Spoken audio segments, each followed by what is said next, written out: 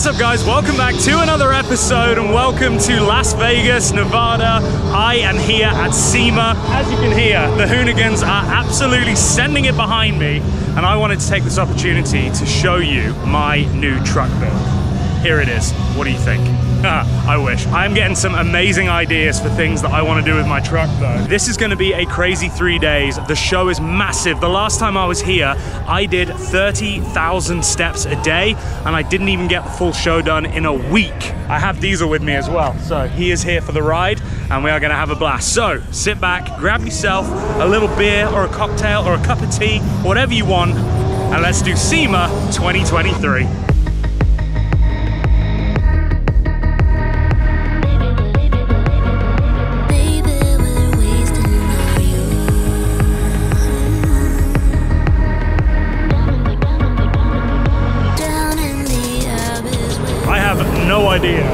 This is, but I want it so bad. Also, do you hear these guys? Like, I don't know what that is, but they are trying their hardest to kill it, and they will. Uh, next overlanding setup. Do you remember a few episodes ago I said that I was going to buy a 911 GT3 and sell everything that I owned? Well, this is basically what that setup would look like. Imagine GT3 with a roof tent. That's basically how I'd be rolling.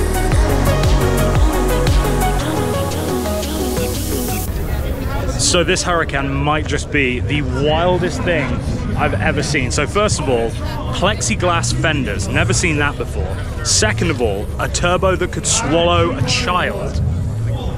And it's pink. Look how awesome this thing is. This is the problem. There are so many sick cars that show up at SEMA that it's hard to keep track of what everything is. But this, right now, and I've only been here for two hours, this is my favorite car of the show so far. oh man, it's so crazy. I love it. I love it. Have you guys ever been in a drift car with a professional drift driver on a demo course? No? Me neither. That's about to change.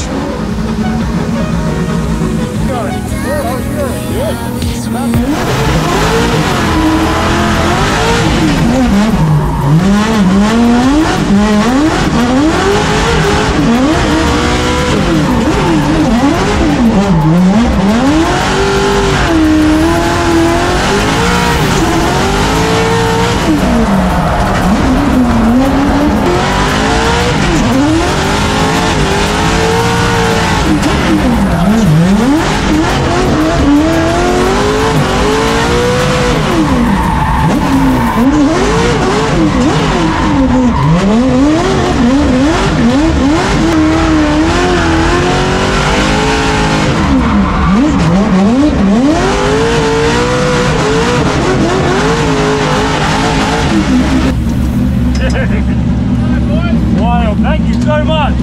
Thank you. Told you. Oh my god. Holy shit.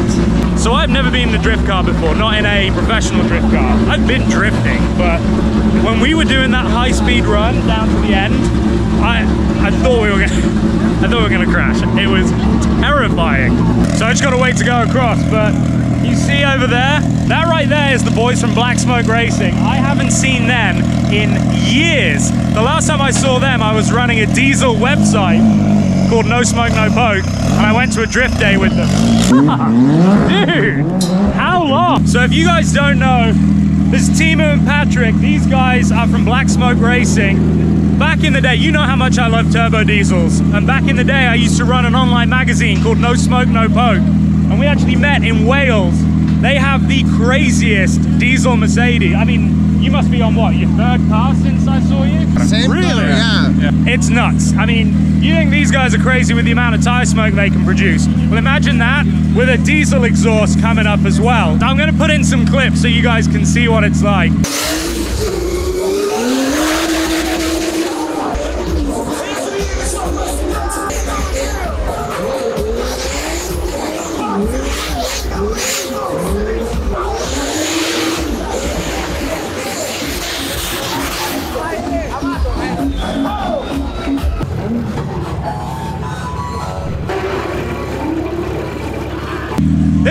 This is why I love SEMA. You never know who you're going to bump into. Look who I found. This is nice, huh? Hello. How are you? Good, how are you? Who's this bud? Hello. Anna Glennon, everybody, who Hello. you may remember from my learning to ride a stand-up jet ski Yes. episode. We're still friends even after that. We are, we are.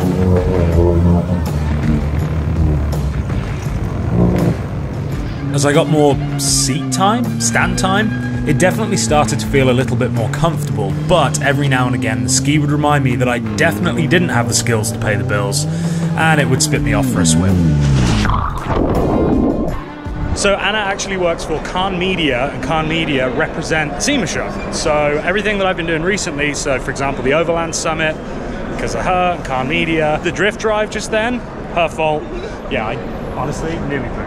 like it was terrifying. Anyway, we're gonna catch up, and I'll see you guys in a minute. So if you want to survive a zombie apocalypse in style, this is how you do it. It's gonna cost you 1.1 million dollars but you buy the EarthRoamer SX, and this thing is an absolute weapon. So it's based on a Ford F550, and it has been completely transformed into the most luxurious overlander you can possibly imagine.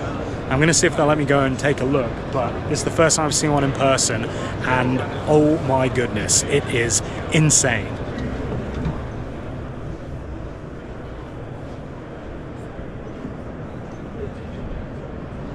So we have full stand-up shower. Nice little sink there. Toilet. Look at the fit and finish on everything. It's all just gorgeous.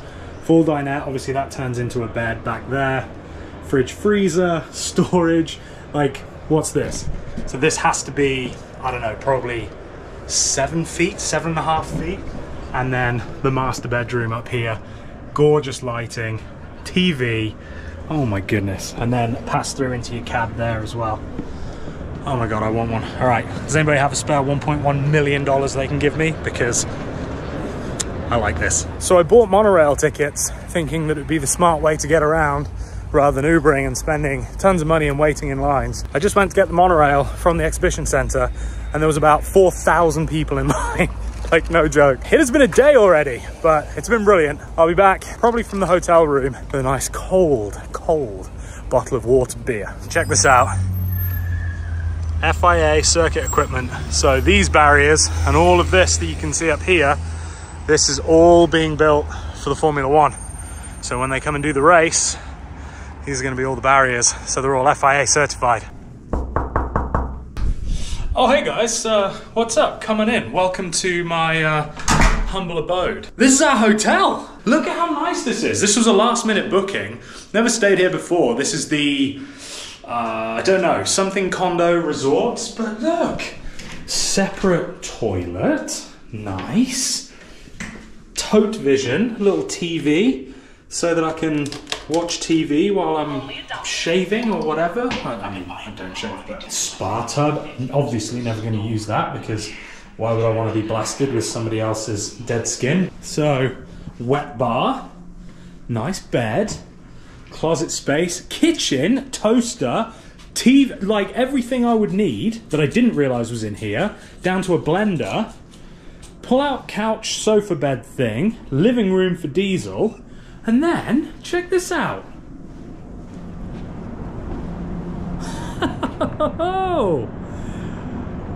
You ready for your feet to feel weird? Yeah.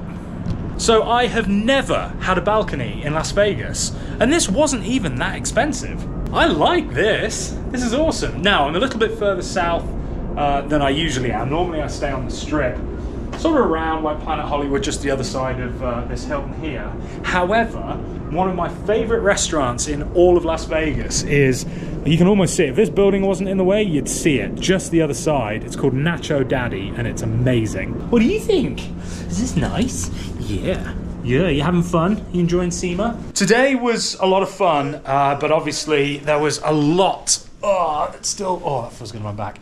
There was a lot to still do. So we did about 25% of outside and I did some of the West Hall. But my plan is tomorrow, start there, go back in, get that finished, and then start to work our way down. So I think I'm gonna meet up with some of the guys from Kahn Media, gonna go get some drinks and some dinner. But first, I have to shower because I feel gross. So I'll see you guys in a little bit.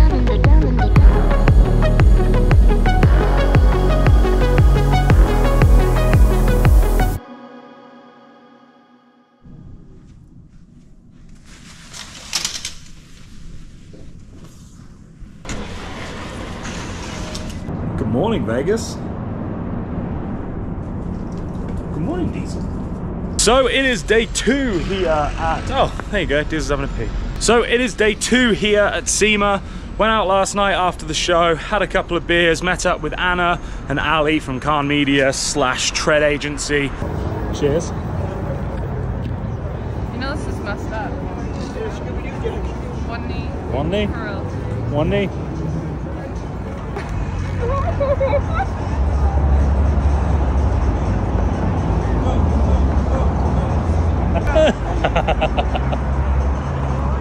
Oshante.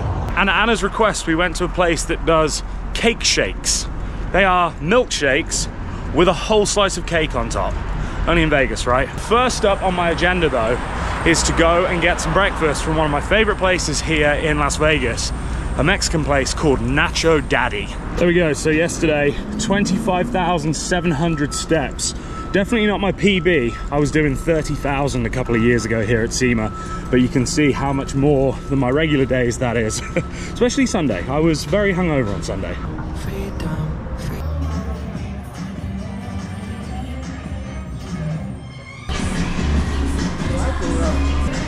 Well, this is what I call a Vegas breakfast. Not gonna lie, this is also usually my weekend breakfast as well. So for those of you going, what on earth is that? This is a michelada. Some of you will know, so in that case, I don't have to explain how delicious they are, but for those of you who don't, this is basically a, thank you. This is basically a beer version of a Bloody Mary, Mexican beer specifically. And then you do a Tajin rim, which is kind of spicy, well, tangy,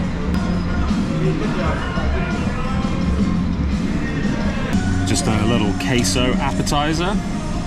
Wow, that is nuclear hot. Okay, I'm uh, maybe gonna let that cool a bit. Although, this candle probably doesn't help. Are you like napalm? Not too bad, but oh, so good. How's this for a little brekkie feast?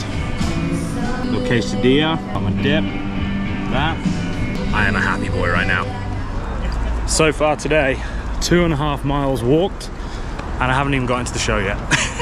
So I just had a really good meeting with Tough Stuff Overland, and in my quest for figuring out exactly what I want to do with the Ram version 2, this is sort of where I'm at. Obviously not the rooftop tent because I already have my uh, my little camper shell thing going on. Is that nice? Is that nice? don't bite it. Don't bite it. You can roll, but don't bite it. Come here, come here. You're crazy. You're crazy boy. You're crazy boy.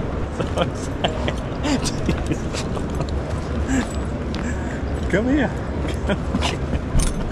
Sit. Lie down. Boy. As I was saying, this is kind of what I'm looking at. So I really love the rack and the idea that I have would be to put the rack all the way across onto my camper shell. And then they have these 270 degree awnings, which are amazing. And so if I did have a rack up there, it would give me the opportunity to install something like this or this very shade itself. So when I'm cooking here, I could have plenty of shade and then I could have my table set up, chairs, whatever. And it just gives you so much coverage for what is a relatively small footprint. So this right here is what it folds into.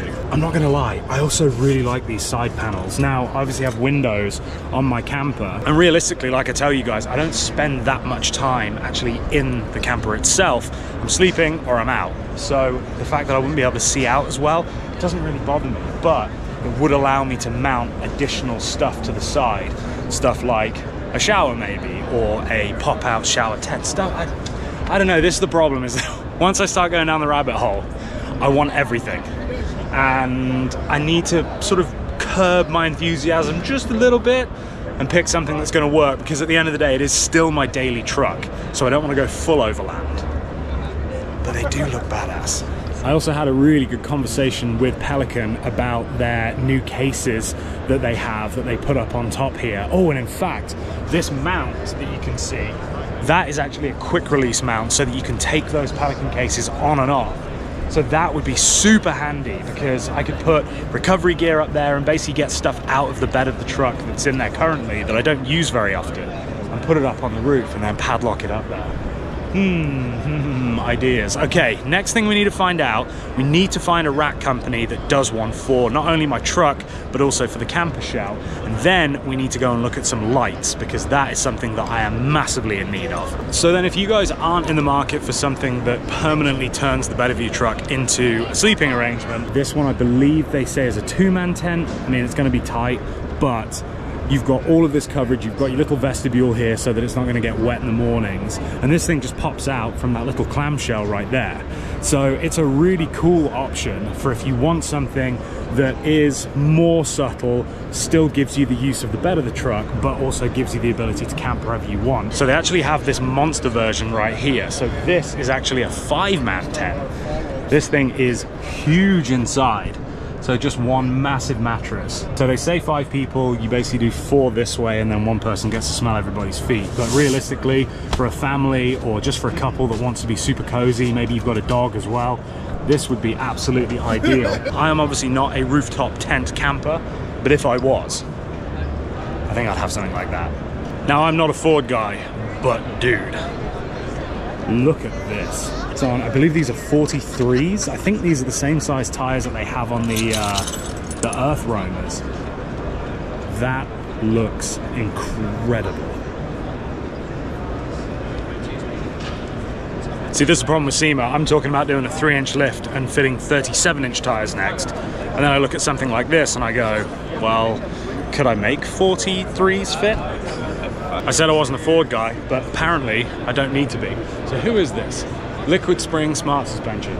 So this would have been a dual axle rear, but look how good it looks. So obviously they've had to trim massive amounts out of this side fender to make these things fit. Custom front bumper, Oh my god, this is the brand new one too, because they've got the uh, the slightly different side mirrors to mine. So what I was finding crazy is this is actually just the crew cab. So I have the mega cab. This is the long bed. So this has an eight foot box on it, whereas mine has the six and a half foot. But my truck is the same length as this, but this thing just looks absolutely massive in comparison. The long bed really does make everything look so much bigger. Yet somehow this is the same size as my truck. So I think what it is that I love so much about these trucks is that when you replace the dual rear axle with a single, you still have the flared bed. And so you get this like almost kind of a pre-runner trophy truck style width to it, but with that big old single tire. And it just looks so tough.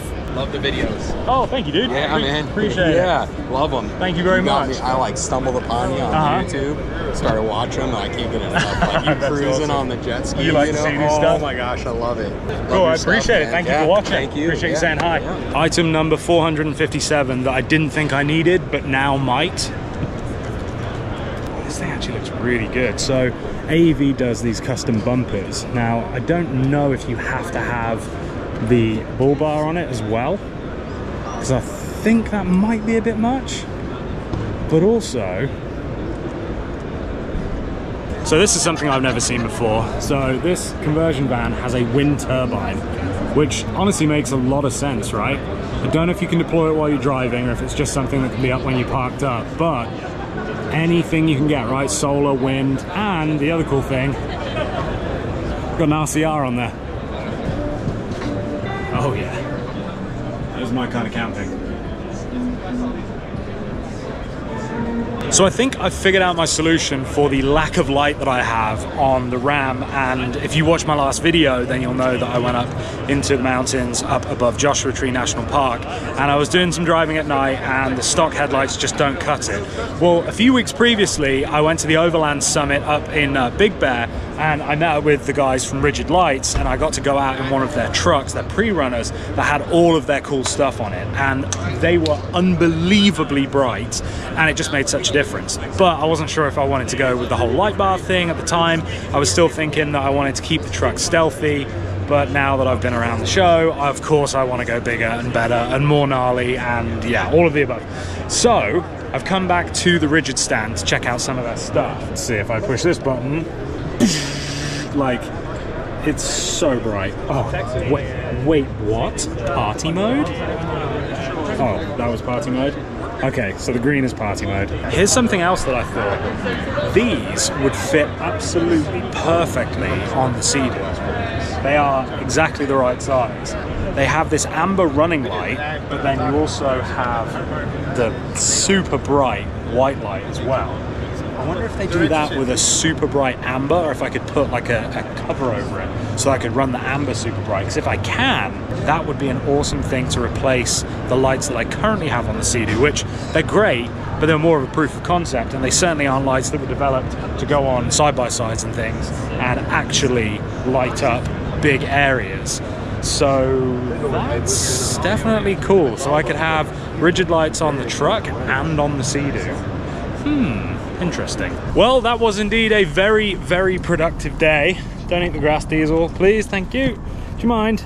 We'll go get you some food. You're not a cow. I feel like I got a lot of progress on figuring things out for the truck, which is good for me and for you guys, because I mean that I'll be able to do even gnarlier stuff. And I am so ready for a beer right now. You would not believe. Well, this isn't something that you see in Valet every day. Steve Darnell's diesel power rat rod. That is one of my favorite cars ever, the welder up rat rod. I believe it runs a Cummins turbo diesel engine. It's just so badass. They build such awesome stuff. I met Steve a few years ago, super cool guy. And uh, yeah, I would love to go in one of those things. Oh,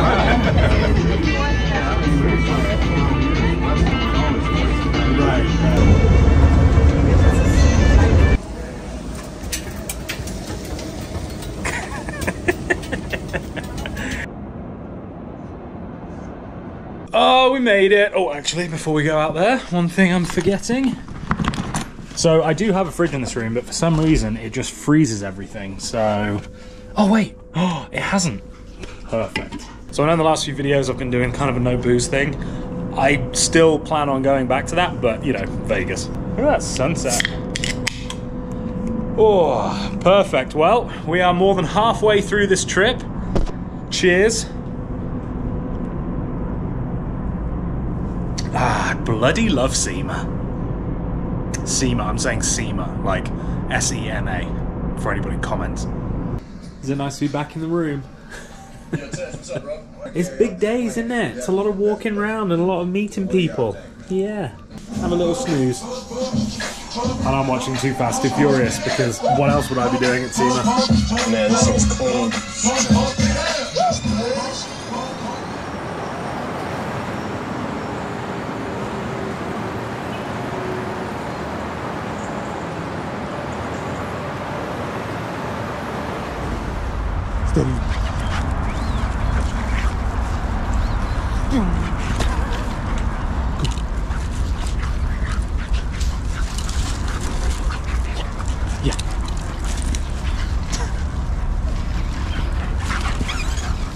Alrighty, SEMA day three. I feel like Tuesday and yesterday were definitely spent mostly taking care of business, talking with different brands about the truck build and kind of getting ideas. Today, we're gonna see how much of the show we can actually do. I've got to do all of the South Hall, I've got to do all of the North Hall. West Hall is pretty much finished. So we're gonna cruise around and I'll show you some of my favorite things that I find.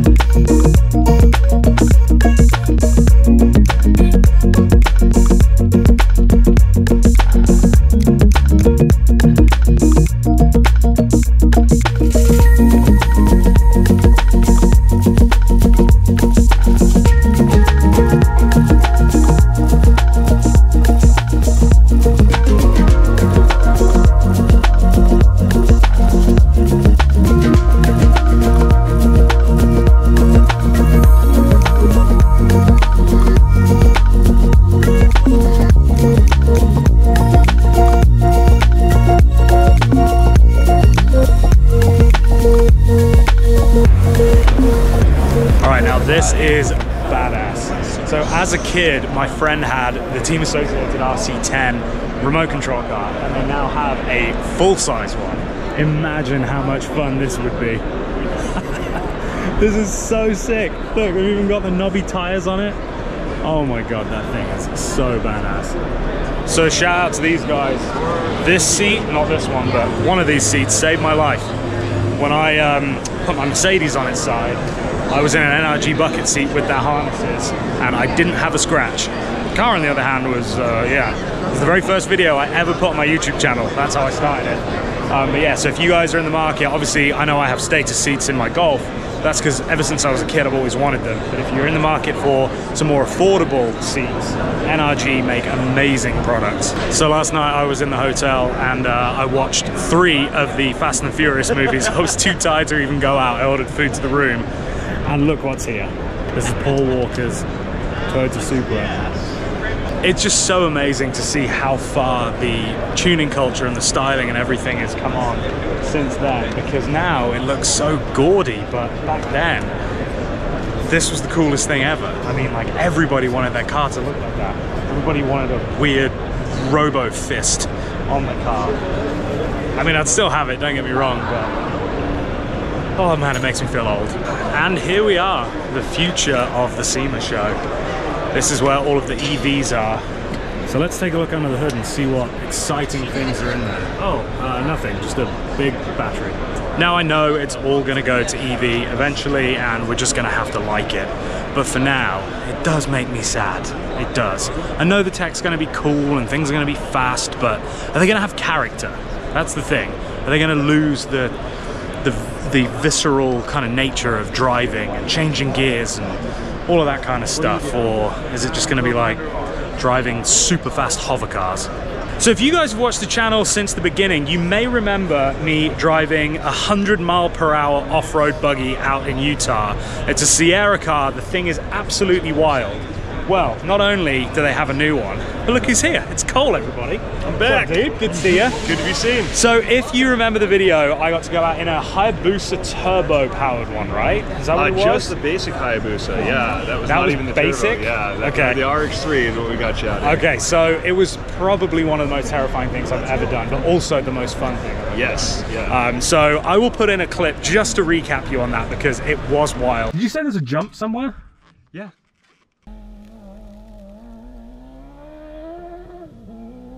Get in! That's so much fun! That's so much fun!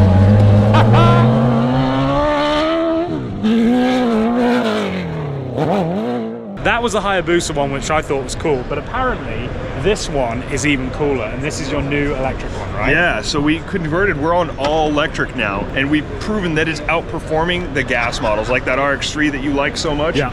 Um, this crushes it. So Lucy Block just drove this at Pikes Peak, Yeah. and she beat the other RX3 competitors that had driven there multiple years in a row on her very first rookie year. And she's a gravel racer. She does rally. She's not an asphalt or tarmac racer. So it's a true testament to how good the car is. Uh, it's better in every way. The cost of operating it went down, and the speeds went up. And very rarely do you ever Right, right, get exactly. that that exchange. So it's been a really positive thing for us. We're having a lot of fun with it, and we just got the new base model car down to thirty-nine thousand bucks.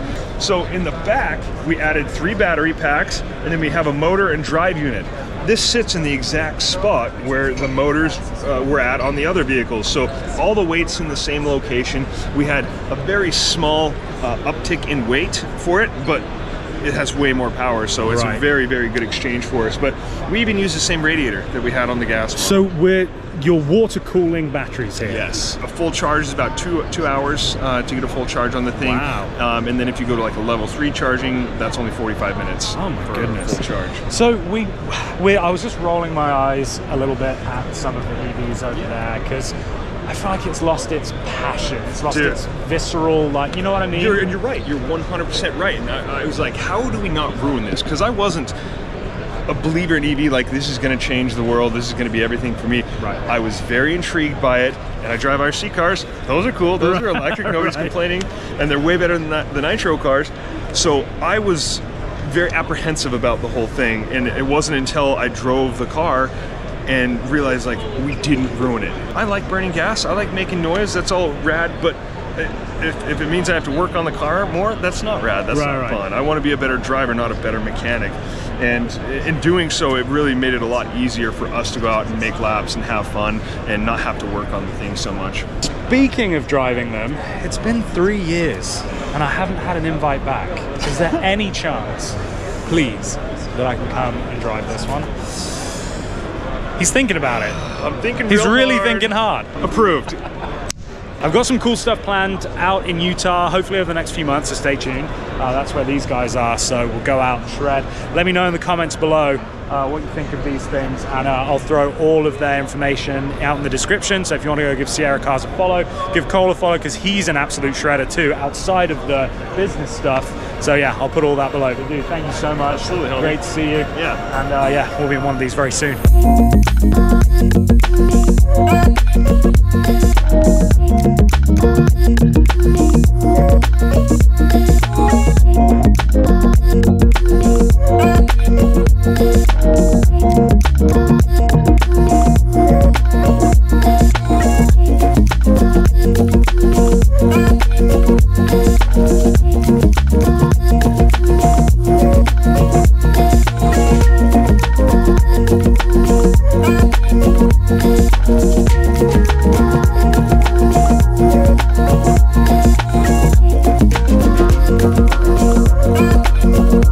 So